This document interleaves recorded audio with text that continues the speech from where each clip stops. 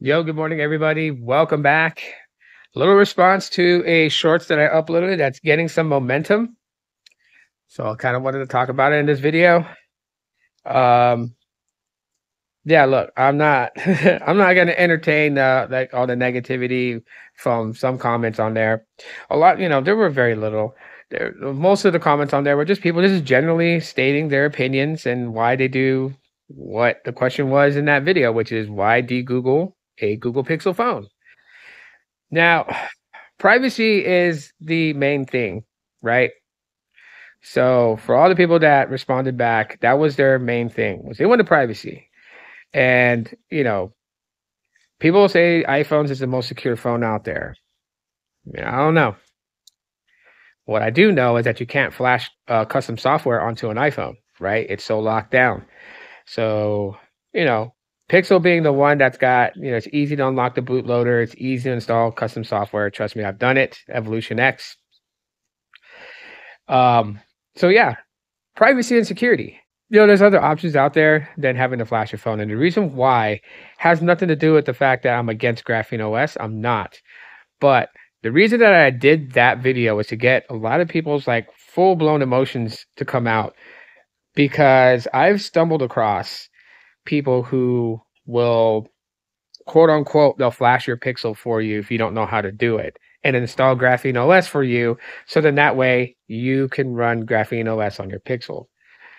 They charge a crazy amount of money to do it. And the and the requirements is even more sketchy. The requirements for doing this is that you wipe your phone. If you don't live locally to them you wipe your phone and then you send it to them they will flash the software onto your Pixel and they'll send it back to you. But here's the problem.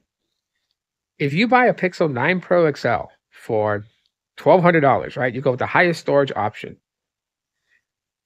and you want Graphene OS on it.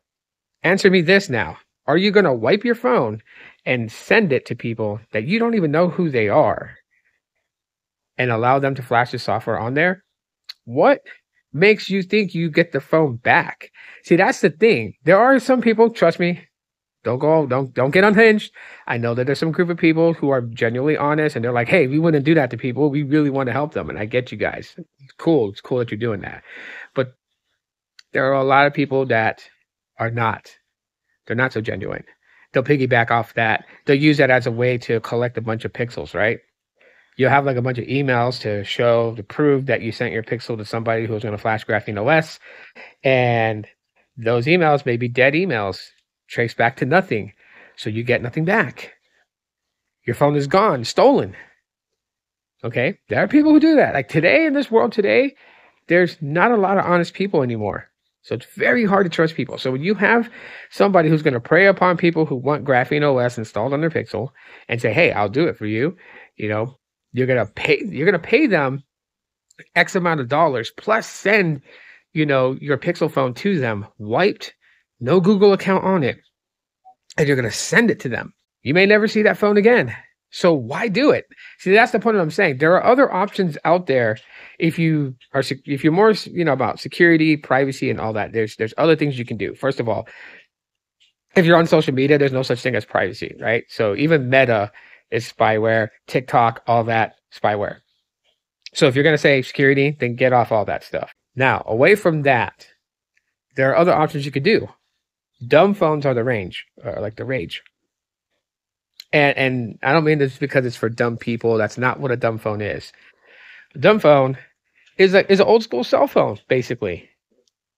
So you can get like a flip phone, put a SIM card inside of it. There you go. You have calls and text. You can drop your plan down to a lower plan because you won't need a lot of data because you're just doing calls and text. Well, what if you want a QWERTY keyboard? That's great. But there are feature phones, right? Like the LG Rumor Touch, the Samsung Rant. You, know, you could even get a BlackBerry. Okay, yes, BlackBerry services are no longer working. So BBM or BlackBerry Messenger and all that stuff's not going to be working on it. But calls and text will. So you'll be able to text with a QWERTY keyboard. As I'm saying, there's other options. You don't have to always just go with Graphene OS.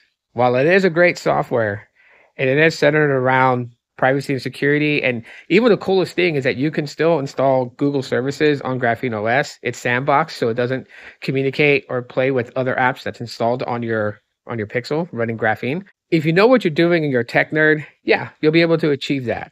But for those people who aren't familiar with how to flash custom software onto a smartphone, how to unlock a, boot, a bootloader, don't worry about it. I would say just go get a dumb phone. They're they're cool. I mean, I was around during the days of Nokia's and flashing batteries and all that other stuff. Like not flashing, like putting software, but like you know the LED lights. Um, I've been through the stages of cellular phones, and I think they're cool. Even this Light Phone Three, go Google it. The Light Phone Three, it's like basic, but it's cool. It's like if someone took a Pebble smartwatch and turned it into a smartphone. You get your basic calls and texts. You get notes to jot down notes, full QWERTY keyboard touchscreen. Uh, you got turn by turn navigation and uh, you know GPS mapping. Uh, you got calendar. You got the basic stuff that you would get in a in a in a basic cell phone. It's just you know in a nice little square package with a screen, selfie cam, and main camera sensor to take pictures, and Oh, you're golden. See, there's other options out there than just Graphene OS. So that's just the point I'm pointing out. Anyways, thanks for checking out this uh, response to that. Go check out that shorts if you want to know exactly what I'm talking about. And yeah, I'll talk to y'all later.